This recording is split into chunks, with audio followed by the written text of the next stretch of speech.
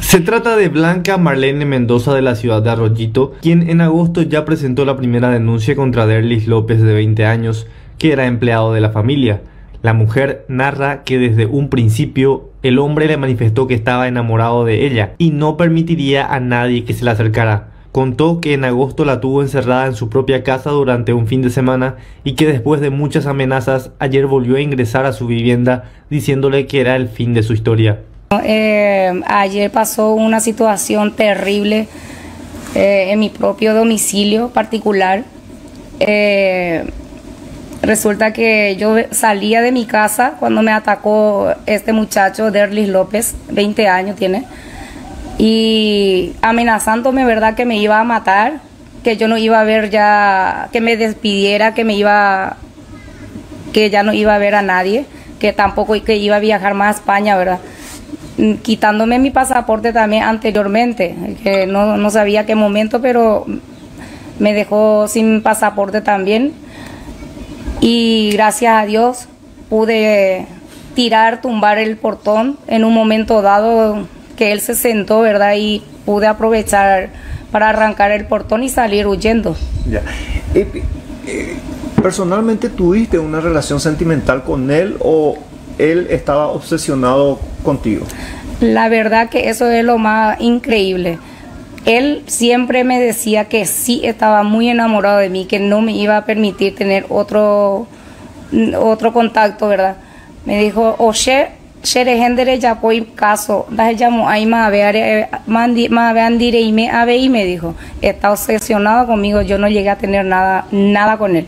Y sentimental nada. Él sí no niega que está enamorado de mí. ¿Y trabajaba con ustedes? Acá en la casa de, mi, de mis padres sí trabajaba, le dieron trabajo y así se obsesionó conmigo. El trato que yo le daba, pues yo siempre trato bien a la gente y confundiría o lo que sea. Yo creo que estaba confundido con el tema de, del trato que yo le daba a él, ¿no?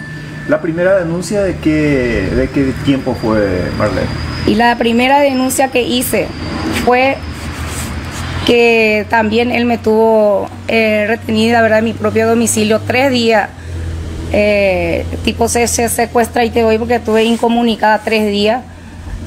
Y muchos golpes, lesiones por todos los lados, todo el cuerpo. Denuncié, está en la fiscalía con todas las pruebas y nada se hizo. Nada se hizo, no sé qué, porque pruebas tenían bastante. Eh, vídeos, eh, de los médicos, o sea que todo. Y hasta ahora nada, hasta que llegó otra vez a atacarme ayer el muchacho. Pero ayer era ya, eh, tenía súper claro que él me iba a matar. Porque digo, no te voy a dejar ya salir de esto porque ya tengo ya una denuncia. Y ahora si yo te dejo otra vez en libertad, ya me vas a mandar a la cárcel. Y entonces, sí o sí, no te voy a dejar ya salir de acá, me dijo. O sea que me iba a matar y pude salir, gracias a Dios. ¿Ayer volviste a hacer la denuncia? Ayer volví a hacer la denuncia. Hasta me fui a hablar con la gente del CODI. Hablé con el, con el teniente coronel eh, Alejandro Fernández, que me dijo que, que, iba, que iban a ver la forma de ayudarme. Ya. Marlene, ¿y tu, tu pasaporte aún no? Mi, pasaporte, mi pasaporte aún no recuperé creo que lo tiró porque buscaron entre sus cosas a mi hermana porque está en la casa de mi hermana. Estaba en la casa de mi hermana. Ahora veo que mi cuñado le llevó hacia, hacia el asentamiento con todas sus cosas. Dice mi hermana que le llevó él. No sé dónde le, le habrá llevado, pero hace media hora por ahí que pasaron hacia el asentamiento. ¿Y, y estás temiendo por tu vida? Por supuesto, ¿quién no va a temer por su vida?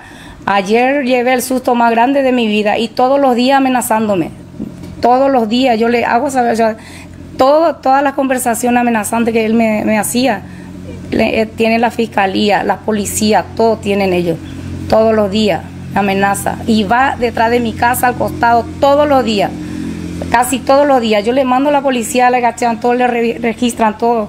Y, y se va, se da la vuelta por el monte, se va otra vez detrás de mi casa. Me vigila 24 horas el muchacho.